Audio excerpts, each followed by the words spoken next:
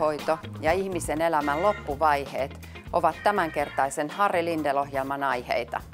Kuopiosta kotoisin oleva Terhokodin johtaja, saattohoitolääkäri Juha Hänninen, on vastaamassa vakavaan aiheeseen liittyviin kysymyksiin. Hän on opiskellut ammattiinsa sekä Helsingin, Jyväskylän että Oulun yliopistoissa. Filosofia ja moottoripyöräily ovat Juhan rakkaita harrastuksia. Hänelle tärkeitä asioita elämässä on perhe, oikeudenmukaisuus ja tasa-arvo. No hei Harri. No hei hei ja tervetuloa tänne Haltian kokoustila Saivoon. Kiitos. Istutaan alas.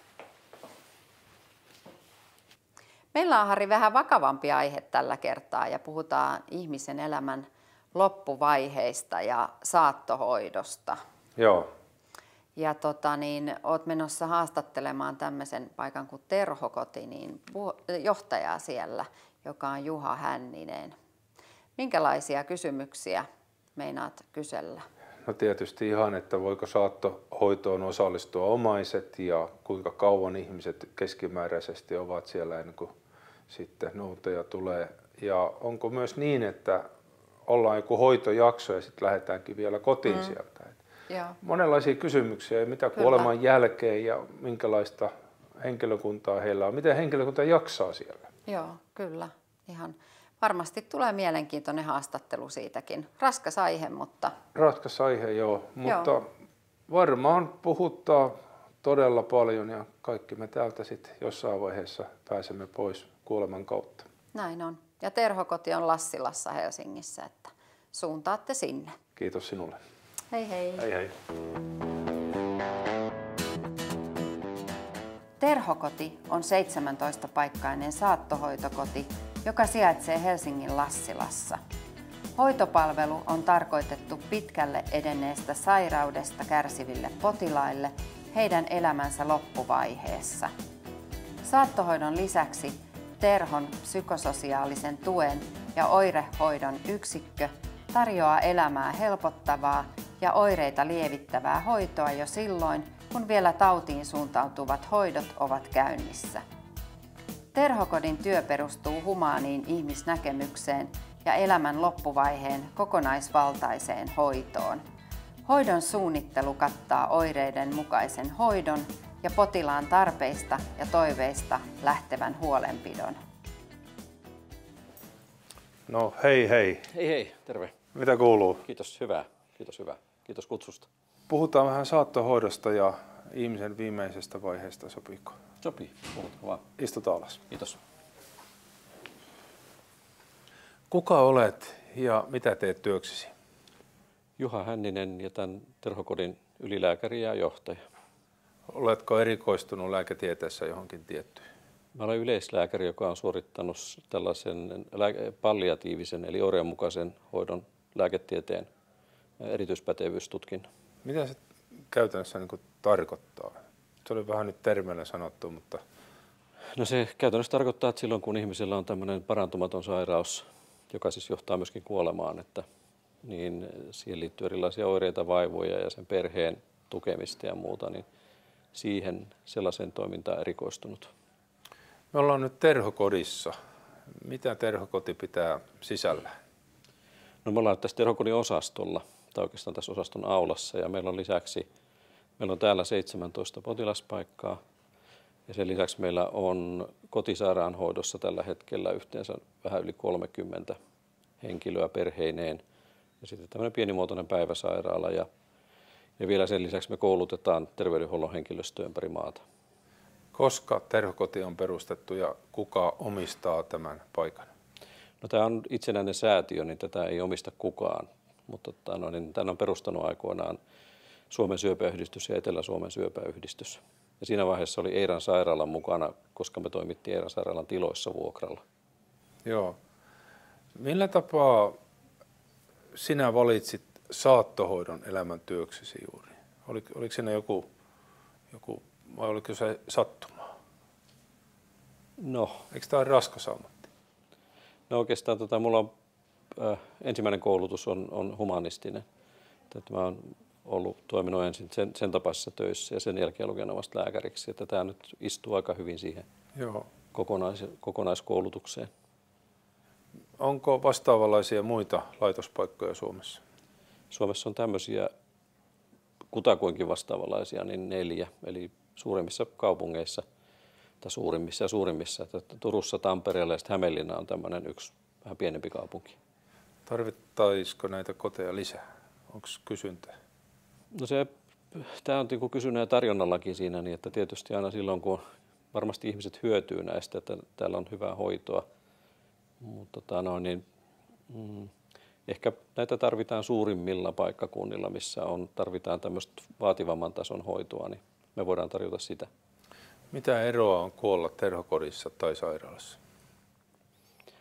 No täällä mm, meillä on lähestymistapa on ihan erilainen täällä näin siihen. Niin että, ja sitten tietysti se, että me ollaan keskitytty pelkästään hoitamaan ihmisiä, jotka on tässä elämänsä vaiheessa. Että meillä on tämmöinen perhekeskeinen sillä tavalla, että me otetaan ihan oikeasti koko perhe lapsineen mukaan siihen.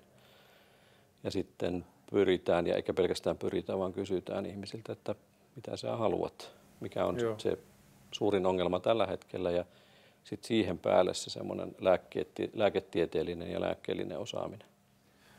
Onko se kuitenkin niin, että terhokodissa ei ole sitä kuntouttavaa hoitoa, eikä, eikä sitten ole samanlaisia toimenpiteitä, jotka tähtäävät, että ihminen parantuu.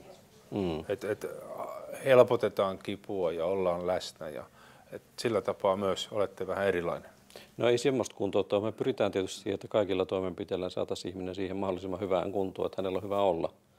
Että kyllä me siinä mielessä voidaan tarjota vaikka fysikaalista hoitoa tai me voidaan Joo. tarjota erilaisia ää, kuntouttavia toimenpiteitä, jotka ei tarvitse tähtää paranemiseen. Kuka maksaa? Kunnat maksaa, tai oikeastaan tällä hetkellä siis meidän pääses HUS, eli Helsingin tämä yliopistollinen sairaanhoitopiiri, niin on se, josta me saadaan maksusitoumus tähän hoitoon. Ja kunnat antaa maksusitoumuksia tähän meidän kotisairaanhoitoon. Olisiko enemmän potilaita tulossa, kun voitte ottaa vastaan? No se on ollut aika balanssissa, aika tasapainossa. Että välillä sitten, tämä on tämä maksusitoumusten määrä, joka säätelee meidän, kuinka paljon meillä on potilaita. Että, että niin paljon kuin kunnat ja HUS on valmiita maksamaan, niin niin paljon me pystytään hoitamaan. Nyt kunnat säästää, valtio säästää. Näkyykö teidän toiminnassa? No se ei suoranaisesti tässä näy, koska itse asiassa kunnathan säästää sitä enemmän, mitä enemmän ne lähettää meille potilaita. Koska se, se on että, niin päin. No se, että me hoidetaan täällä hyvin ja, niin, ja estetään se, että he ei ajaudu päivystykseen ja akuuttisairaaloihin, niin sehän säästää kunnille rahaa. Voiko henkilö päättää, että Rovaniemellä kun asuu, että tulee tänne pääkaupunkiseudulle? Vai, tuleeko yleensä sellainen tilanne, että Rovaniemen kaupunki antaa maksusitoumuksen henkilölle, jos hänellä on jotain siteitä tänne päin, ja omaiset Joo. ovat täällä, lapset ovat Helsingissä, niin on helpompi käydä katsomassa tai jotain tämän tyyppistä. Kyllä semmoista sattuu. Tota, no, että kyllä meillä aina silloin tällöin tulee niin kuin sillä perusteella tulee potilaita, että tota, no, niin koko perhe asuu täällä ja tämä sairas ihminen on aikoinaan muuttanut jonnekin muualle ja haluaa tulla tänne perheensä lähelle. Mitä se saattohoito konkreettisesti tarkoittaa? No se tarkoittaa monia asioita, että se tarkoittaa tietysti hyvää oirehoitoa, se tarkoittaa sitä valmistautumista siihen lähestyvään kuolemaan ja sitä, että se perhe, joka jää siihen edelleen olemaan, että he pärjää jatkossa myös sitten tämän tilanteen kanssa. Niin. Kun ajatellaan saattohoitoa ja ajatellaan potilasta, niin onko potilaalle kuitenkin sellainen ajatus, että kun tänne tullaan, niin täältä ei enää elävänä lähdetä. Että se, on, se on se viimeinen hoitopaikka. Osalle on, mutta osahan ne tulee tänne johonkin lääkityksen lisäykseen tai hoidon tarkistukseen tai väliaikaisesti omaisten levon takia lähtee takaisin kotiin. Että, että kyllä niin, meillä semmoinen, näinkin käy. No semmoinen yksi joka viides suunnilleen, niin ei, ei tule tänne silloin ensimmäistä kertaa tullessaan niin jäädäkseen. Just, joo. Osa tulee. Nyt on vuorossa tauko. Mennään katokalluppiin. Onko saattohoito käsitteenä teille tuttu? Ää, kyllä nimike on tuttu, mutta sisältö on hiukan epäselvä. No minkälainen käsitys teillä on siitä, mitä se saattohoito mahdollisesti tarkoittaa? se on kai tämmöistä niin kuin lopun ajan voitelua, hoitoa kuoleville ihmisille. En mä osaa siitä sen osaa tarkemmin sen sisällöstä sanoa mitään.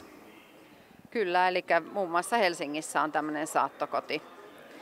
Onko se terhokoti tämmöinen, semmoinen mä oon ymmärtänyt, että se olisi kyllä. Juuri, juuri se. Mitä mieltä olette tämmöisestä saattohoidosta sitten hoitomuotonaan? Onko se teidän mielestänne hyvä?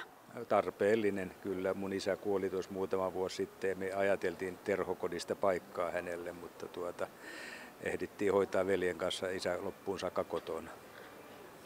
En, en, en, tiedä, en tiedä tarkemmin, että minkälainen se ympäristönä on, enkä osaa siitä sen tarkemmin sanoa, että en ole koskaan tutustunut laitoksen toimintaan.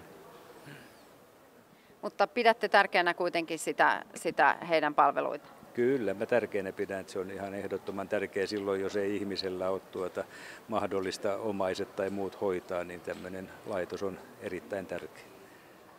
Sanoitte tuossa, että hoiditte veljenne kanssa teidän omaa isänne loppuun asti, niin oliko se hirvittävän raskasta itse hoitaa? Mm, kyllä se on raskasta, mutta onneksi oli meillä semmoinen mahdollisuus, että työn puolesta pystyttiin, että mä olen itse yrittäjä, niin pystyin hoitamaan. Että me hoidettiin vuoroin, että mä hoidin päivällä ja veli hoiti yöllä, että 12 tuntia vuoroissa hoidettiin viimeiset viikot sitten. Että tämä on sillä lailla mahdoton toisille semmoisille, jotka työn puolesta eivät pysty sitä, joka vanhemmat asuu kaukana tai muualla, niin silloin sitä ei pystytä tekemään. Että on varmaan tarpeellinen hoitomuoto. Mitä mieltä olet eutanasiasta? On aktiivista eutanasiaa ja passiivista eutanasiaa. Vaikea kysymys varmaan. No mun mielestä semmoista tota, no, ei ole olemassa kuin passiivista eutanasiaa. Että, tämä, no, niin, että tämä aktiivinen eutanasia on toimi, jolla ihmisen elämä päätetään. Ja silloin tämä eutanasia on aktiivista aina. Sitten tehdään päätös, että elämä loppuu tähän toimenpiteeseen. Ja on semmoisia tilanteita, joissa tämä, no, niin, välttämättä parempia ratkaisuja ei ole. Tai voi olla, voidaan kuvitella olevan. Kun on kovat kivut ja ei ole mitään toivoa enää. Ja... No kyllä me kivut pystytään useimmiten hoitamaan ihan kohtalaisen hyvin, mutta semmoinen toivottomuuden tunne ja se, että odottelee vaan omaa kuolemaansa ja ei näe mitään merkitystä. Ja plus sitten, että on lisäksi jotain hankalia fyysisiä oireita. Mitä mieltä olet? Nykyään on julkisuudessa paljon puhuttu Eh, vanhuksista, sairaista ihmisistä, joilla ei ole yhtään ystävää, ei yhtään sukulaista. Hmm. No se ei liity eutanasiakeskusteluun kyllä suoranaisesti millään tavalla. Mutta tuleeko teille tämän tyyppisiä henkilöitä sitten tänne vai onko se aina niin, että on suku mukana ja se perhe mukana sitten? On, niin, ajaa, on, on siis ihmisiä, jotka on ihan yksinäisiä, että no niin, jolla ei ole ketään. Tai sitten nykyään tai no, niin omaiset on muuttanut niin. kauas jonnekin. Että hekin voivat päästä tänne. Ja... Totta kai. Ei siinä tarvitse olla omaisia mukana, Aivan. mutta jos on, niin me otetaan heidät tähän niin mukaan. Joo. Ö, mitä konkreettisesti ne viimeiset hetket täällä, mitä silloin tapahtuu? Onko hoitaja läsnä ja pitää kädestä kiinni? Silittää? Ei välttämättä. Omaiset on useimmiten paikalla siinä, niin että et läheiset on siinä lähettyvillä ja jos ei ole ketään läheisiä paikalla, niin sitten kun me, jos me nähdään, että ihminen on kuolemassa, niin sitten hoitaja on siinä. Niin. Minkälaisen suhteen hoitajat muodostavat potilaisiin, jos heistä tulee kovin läheisiä, niin vai tuleeko tällaista no, läheisyyttä vai onko se vain ammatillista? No onhan tämä tietysti ammatillista toimintaa. Että totta kai kun ollaan jossain herkässä tilanteessa ja hyvin tunneherkissä tilanteessa ihmisten kanssa tekemisissä, niin se, siihen tulee mukaan näitä tunneasioita. Niin. Ja, ja tänne valikoituu sellaisia ihmisiä töihin, jotka herkemmin aistii ja vaistoa näitä asioita. Mutta tämä on niin kuitenkin, että tämähän on, tämä on siis sairaala. Me hoidetaan ihmisiä ja tämä on, niin me tehdään tätä työksemme. Osallistuuko hoitokodin hoitajat tai sinä mahdollisesti myös hautajaisiin? Ei, ei. Vaikka toivottaisiin, niin ei. Mm, en. Mä oon ilmoittanut, tota, no, en, en et käytännössä nyt mun urani aikana niin on ollut mukana noin 10 000 ihmisen kuolemassa, niin, niin en mä voi käydä kymmenissä tuhansissa autajaisissa. Entä sitten tällainen ö, uskon asia, mitä kuoleman jälkeen tapahtuu? Se on jokaisen, jokainen ajattelee sitä omalla tavallaan. Mikä on sinun mielipiteesi? Mm, en tiedä. Sitä ei koskaan mm. kukaan tiedä varmasti. Ää, miten suomalaiset suhtautuvat kuolemaan noin yleisesti? Aika realistisesti sillä tavalla, kun se on aika yllättävää, että ihminen kun kohtaa oman kuolemansa tai sen tulevan kuolemansa, niin ylivoimainen valtaosa pystyy suhtautumaan siihen rauhallisesti ja asiallisesti. Että se on yksi osa tätä elämää. Niin, että näin tässä nyt se, sitten käy. Niin, siinä mm. kaikki, mm. kaikki me kohdataan kuolema jossain vaiheessa. Mm. Kuka ennemmin, kuka myöhemmin. Niin. kun ajatellaan, on eri uskontokuntia, on, on, on Suomessakin jo aika monenlaista seurakuntaa. Mm. Onko mitään eroa näillä? Kuolemaan suhtautumisessa? Niin. No on siinä tietysti eroja, mutta semmoisia yleisiä uskontoon liittyviä eroja, että niin kuin ortodoksilla on erilainen tapa nähdä kuolemaa kuin luterilaisilla, niin kyllähän se tietysti, vähän niin kuin Piispa Leo on aikanaan sanonut, tuota, no, että, että tuota, no, niin ortodoksiset hautajaiset on iloisemmat kuin luterilaiset häät. Ehkä se Joo. kuvastaa sitä. Joo. Miten henkilökunta jaksaa täällä aina kohdata kuolemaa? No, tämä on myöskin fyysisesti ihan raskasta, mutta tietysti ennen kaikkea henkisesti, että täytyy järjestää erilaisia tapoja helpottaa sitä jaksamista. Että kyllä meillä työnohjausta ja koulutusta ja muuta, mutta on se välillä hankalampaa. Niin. Onko se niin, että kun ihminen kuolee, niin hänet sitten laitetaan, puetaan ja mieshenkilöiltä ajetaan parin päivän päästä parta, kun parta kasvaa ja, ja laitetaan kostutetut eh, pumpulit silmiin, että näyttää hyvältä ja no kyllä se usein suu vedetään kiinni. Ja...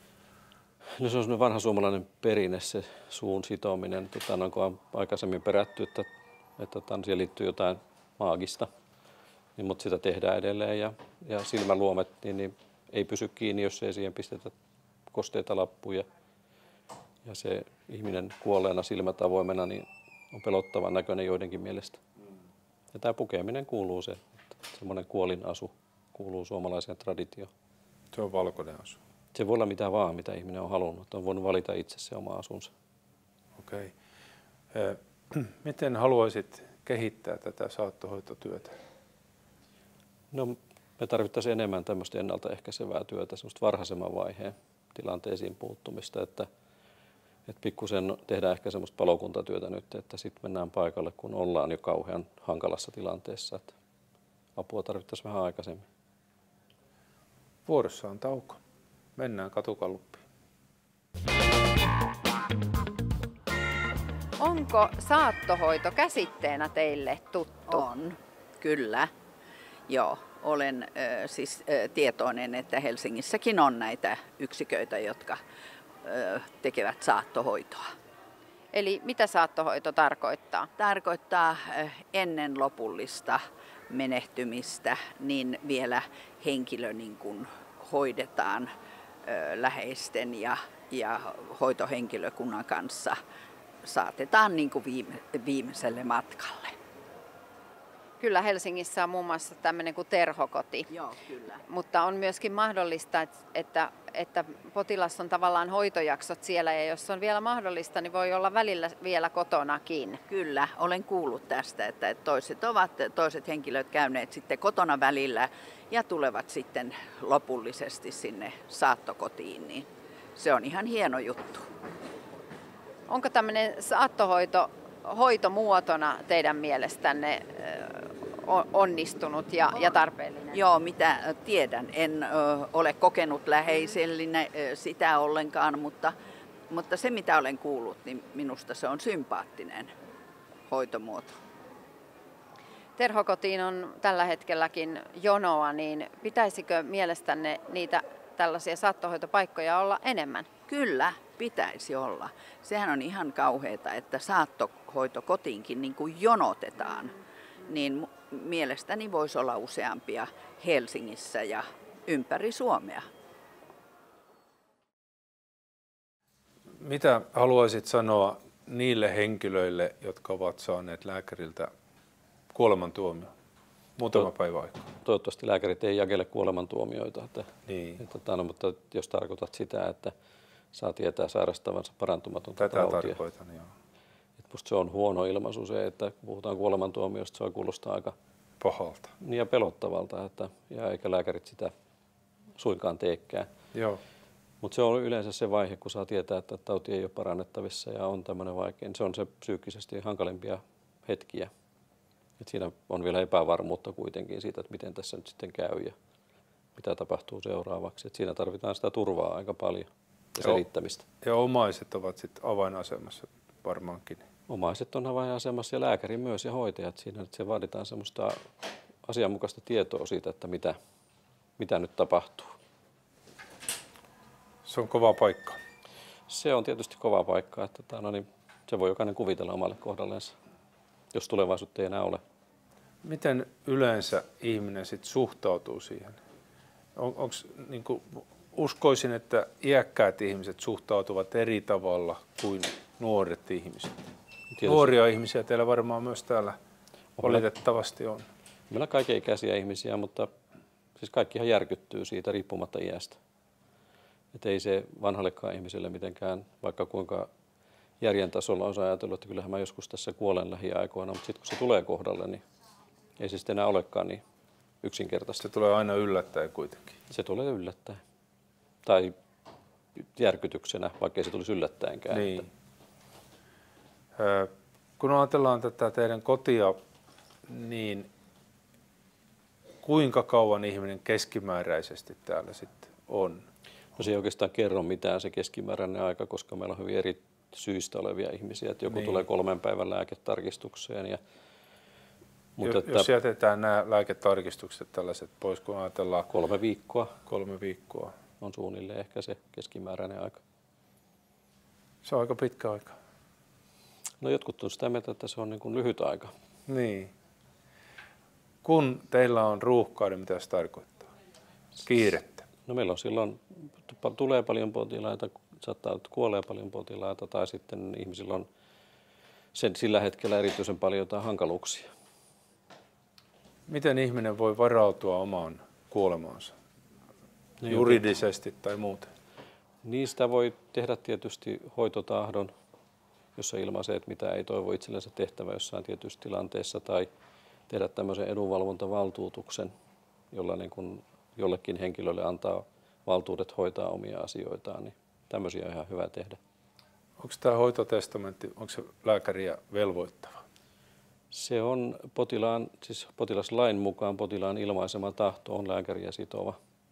Ei voi tietysti toivoa mitään, tavallaan niin kuin se on semmoinen negatiivinen toive, että miltä haluaa välttyä, mihin ei Niin. halua joutua. Niin. Niin. Ei voi toivoa semmoista, että haluaisin itselleni maksimaalisen määrän tutkimuksia tai muuta. Niin. Tai yliannoksen jotakin lääkettä, joka aiheuttaa kuolemaa. Niin, se ei ole Suomessa, se on rikoslaissa rangaistava teko. Aivan. Et lääkärin etiikka lähtee siitä, että elämää ylläpidetään. Kipuja pyritään poistamaan ja vähentämään ainakin. Lääkärin yksi tehtävä on suojella elämää. Et se on tietysti totta, että on tietysti jotakin sellaisia tilanteita, missä se ei välttämättä enää ole potilaan edun mukaista, mutta on periaatteessa. Miten sitten, kun omaiset sanoo toista ja on hoitotestamentti, että meneekö se hoitotestamentti sitten omaisten tahdon edelle? Menee, menee.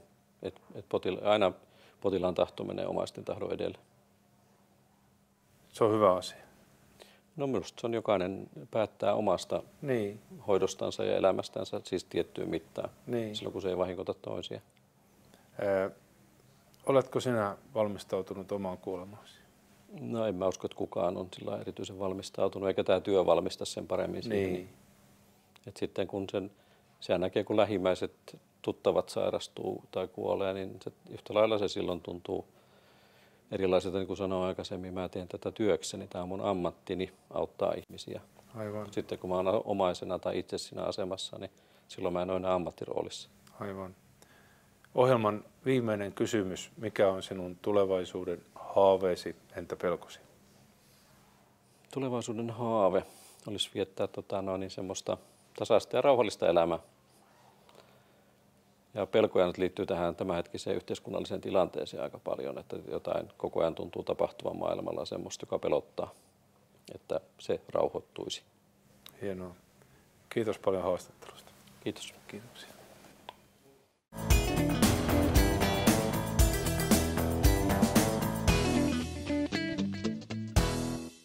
Hanna, sä oot hyvin keksinyt näitä aiheita Millä tapaa sä työstät näitä ja miten niin tämä prosessi sulla lähtee liikkeelle? No paljon tietysti ajankohtaisista aiheista yrittää sitten löytää sellaisia, mitkä, mitkä olisi tähän meidän ohjelmaan sopivia. Ja, ja tuota, niin onhan meillä tietysti myöskin tiimi, jolla, jolla mietitään näitä, näitä kiinnostavia aiheita. Hyviä aiheita olet keksinyt. Mikä nyt seuraavaksi tulee? No nyt seuraavaksi mennään sitten punkalaitumelle. Ja, ja tämmöinen aihe, että mennään SHT Tukku Oyhyn katsomaan, miten siellä rakennetaan suomalaisia ruumisarkkuja ja tätä työskentelyä. Suomen hautaustoimistojen omistama kyllä, ruumisarkkutehdas. Eh, pitääpä kysellä pikkasen, että montako ruumisarkkua valmistuu päivässä mm. ja voidaanko ruumisarkkuja tehdä ihmisen koon mukaan, jos on tukeva ihminen tai on pitkä ihminen, niin onko se yleensä mahdollista? Ja toimitusjohtaja Hannu Lehtonen niin kertoo lisää. Ruumisarkku tehtaalle punkalaitumelle. Vähän synkkä aihe, mutta mennään keskustelemaan. Lähtekää mukaan punkalaitumelle ensi viikolla.